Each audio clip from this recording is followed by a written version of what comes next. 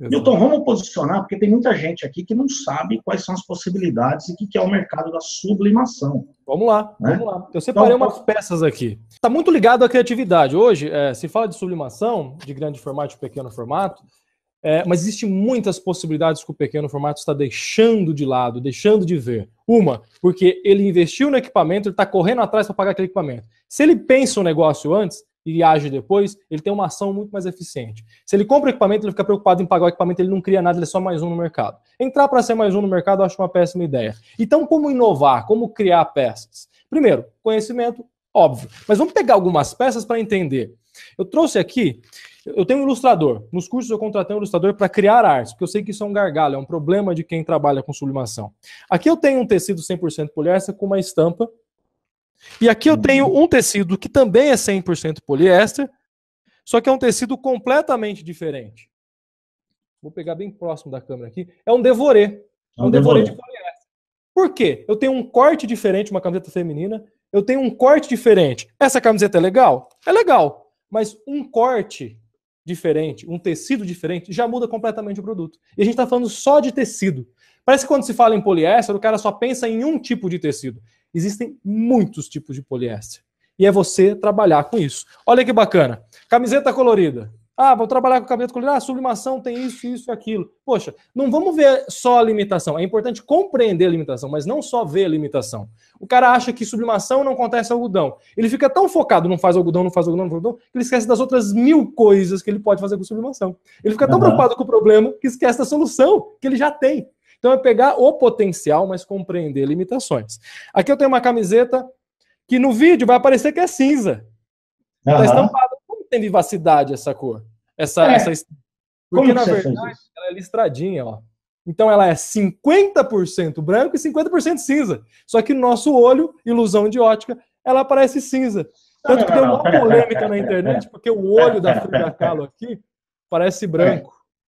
Peraí, para tudo. Vou, vou, vou, fazer agora igual o, o João Kleber. Para tudo, para tudo.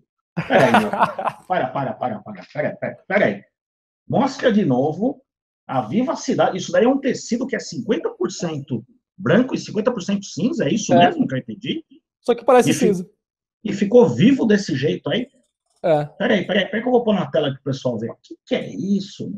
Isso eu nunca tinha visto. Para mim é uma novidade. É listradinho. Que coisa, rapaz. Que coisa, olha lá. E essa vivacidade aí, então, vem dessa parte. Somente os 50% branco é, já, já ajudou a deixar vivo desse jeito, é isso? Exatamente. Claro que a gente tem que é, é, entender sempre o processo de impressão. O cara ele entra no mercado, ele tem que entender que a sublimação ela exige muito do empreendedor, porque exige compreensão de software. Então, primeiro, uhum. o que ele vai fazer? Ele vai ter que aprender. Corel, Photoshop, Illustrator. Ele vai ter que começar por aí. Porque a arte é a grande sacada do produto. Produto em branco, produto em branco. A arte que faz toda a diferença que vai encantar. Você não vende canecas, você vende é, é, recordação, momento, lembrança, presentes, vida. Isso.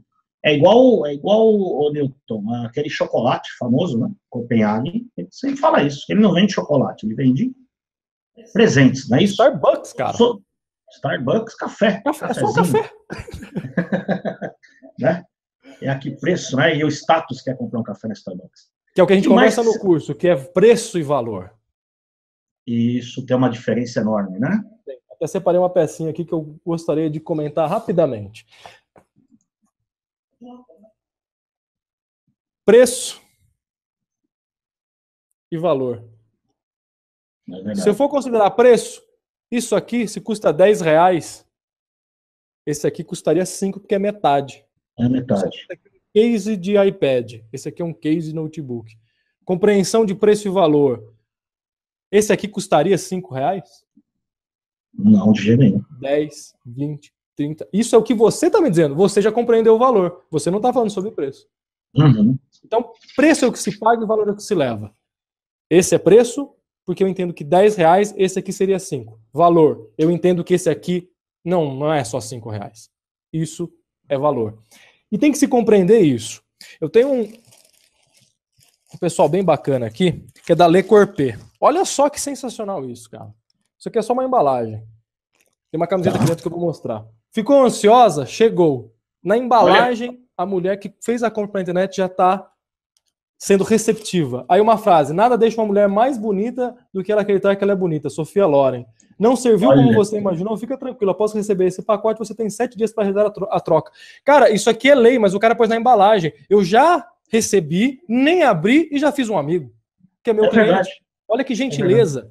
É e aqui dentro o produto, que resume um pouco do que a gente conversa, que é o que a gente comentou agora de preço e valor. Não é só uma camiseta, tem a marca na gola, isso agrega uhum. muito valor, tem a etiquetinha que vai agregar valor, tem o tecido que a gente conversou agora há pouco, um tecido diferente. Isso aqui parece algodão no toque. Uhum. E tem aqui a estampa politicamente incorreta, mas é uma estampa. Uhum. Tudo isso, tudo isso, agregar valor, compreender valor, criar uma marca. Eu não sou contra a Peppa, mas eu vejo muita gente fazendo Peppa e quando a Peppa sai do mercado, a empresa sai junto. Por que não criar é a sua Peppa? E ser copiado, que incrível ser copiado. Hoje o portal é copiado. Às vezes eu fico bravo, mas a maioria do tempo eu fico feliz. Porque você é referência. É claro. Curtiu esse vídeo? Então taca o dedo aí e se inscreva no nosso canal. Aproveite para saber tudo sobre técnicas serigráficas, dicas de produtos e muito mais. Então aproveita, corre aí, clica aí, taca o dedo, inscreva-se agora mesmo. Um grande abraço e até o próximo vídeo.